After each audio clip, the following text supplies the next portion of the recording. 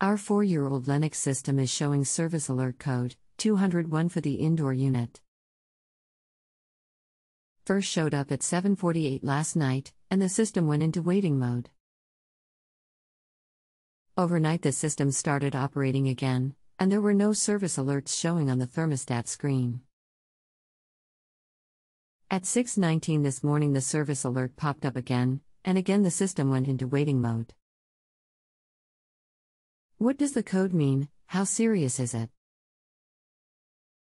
We're leaving on vacation tomorrow and our dealer is closed today.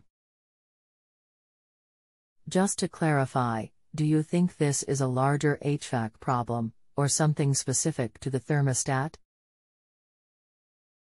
All we can tell is that the alert message that shows on the iComfort thermostat screen says the code is 201 and the indoor unit is reporting a problem, not further specified. Do you plan on doing the work yourself? Not unless it's something that can be done by a homeowner. I can't find out what the code 201 means and how serious it might be.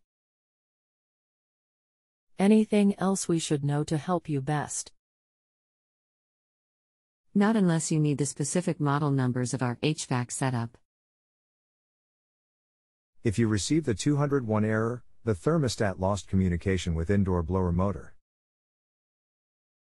Possible causes include power outage, brown minus out, motor not powered, loose wiring, condensation on air handler control board.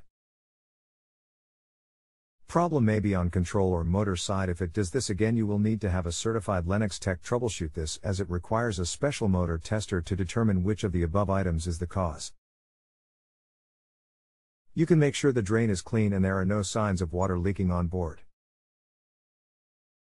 If you have a home improvement or appliance question and want to chat with an expert now visit justanswer.com/ythi.